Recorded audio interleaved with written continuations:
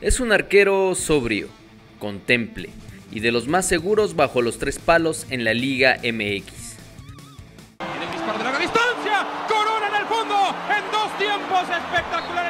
Cuando vi la actuación de Jesús Corona en los Juegos Olímpicos de Londres 2012, pensé que no había mejor portero mexicano que él.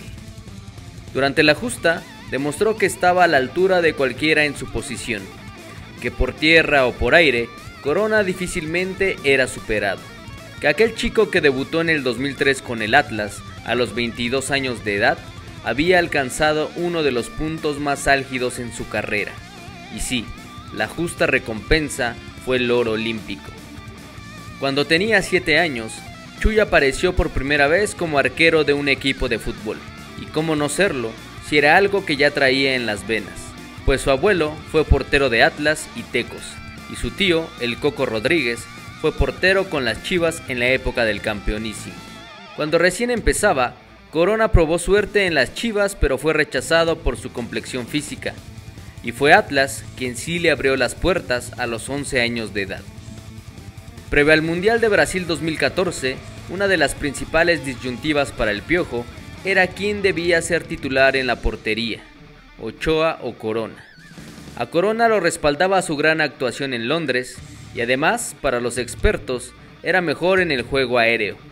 Sin embargo, Ochoa, que en ese momento era titular del Ajaxio, equipo que esa temporada descendió, gozaba de la simpatía de Miguel y aunque en Brasil tuvo buenas actuaciones, para algunos, e incluso para el propio Corona, nos quedó la sensación que él debió ser el titular. Es un tema que, muchos eh, debaten, ¿no? Por ahí, creo que el haberlo conseguido por ahí te hablaba de que, bueno, habías hecho el mérito suficiente también como para poder eh, tener ese lugar, pero bueno, sabemos que que son gustos en el fútbol, eh, cambian los técnicos también y cada técnico tiene su, su visión, su mirada de su, bueno, la manera como ve el fútbol, ¿no? Tiene 37 años y es seleccionado nacional desde el 2005. Atlas, Tecos, Refuerzo Chiva en una Libertadores y Cruz Azul son los equipos en los que Chuy ha resguardado la meta. Es un buen tipo, pero en ocasiones su temperamento lo ha hecho perder la cabeza.